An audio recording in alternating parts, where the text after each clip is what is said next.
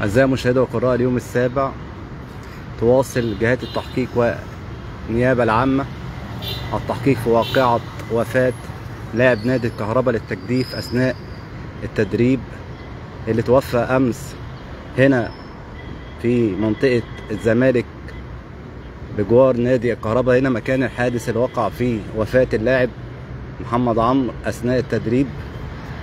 إحنا هنا قدام مكان الحادث. وقد تم العثور على جثمان اللاعب صباح اليوم بعد محاولات بحث من رجال الإنقاذ النهري اللي لقوا الجثة طافية في نهر النيل بعد بعد فقدانه أمس. النيابة دلوقتي بتستمع لأقوال مسؤولي نادي الكهرباء لبيان وجود شبهة إهمال من عدمه وطلب تحريات المباحث لبيان وجود شبهة جنائية يعني هل الحادث وفاة طبيعية وإن هو وقع من على على التجديف وتوفى ولا في شبهة جنائية.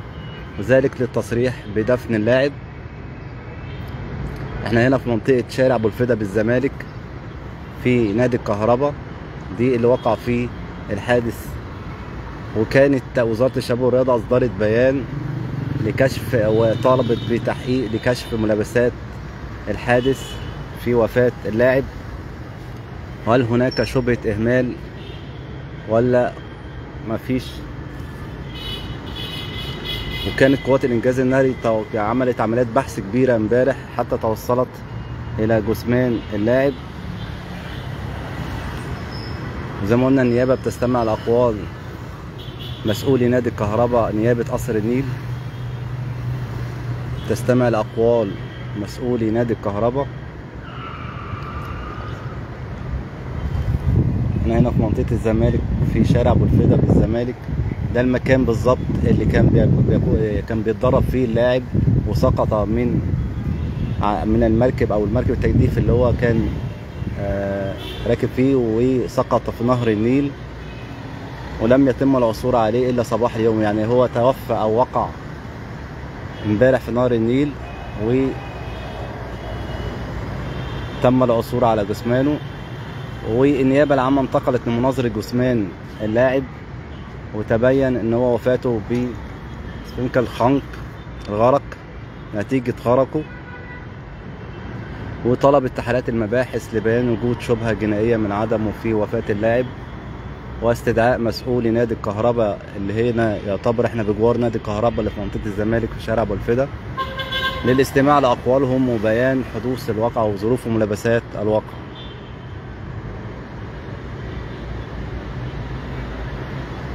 والنيابة طبعا هتسأل هل في وسائل تأمين إزاي ما فيش يعني هيبقى في تحقيق هل في و... ليه ما فيش وسائل تأمين؟ في حالة سقوط لاعب أثناء التدريب في ما فيش وسائل أمان؟ كل ده يتم التحقيق فيه وسؤال مسؤولي نادي الكهرباء المسؤولين عن تدريب اللاعب أو إن هم كانوا مشرفين على هو اللاعب بيتدرب فين وسائل الأمان اللي موجودة هنا أثناء حدوث أي حاجة من زي دولت؟ إن حد لاعب واقع مثلا من أثناء التجديف؟ كل ده بيتم سؤاله والتحقيق مع مسؤولين نادي الكهرباء. وكمان وزارة الشباب والرياضة شكلت لجنة للتحقيق في الواقعة. وتم يعني تم استخراج جثمان اللاعب منذ قليل وتحويله إلى أحد المستشفيات. والنيابة انتقلت لمناظرة جثمانه وأمرت بالتصريح بدفنه بعد مناظرته. تبين إن هو توفى نتيجة سفنك الغرق. وسنواصل معكم الجديد في هذه الواقعة المؤلمة وفاة لاعب نادي الكهرباء للتجديف في نهر النيل هنا في منطقة الزمالك.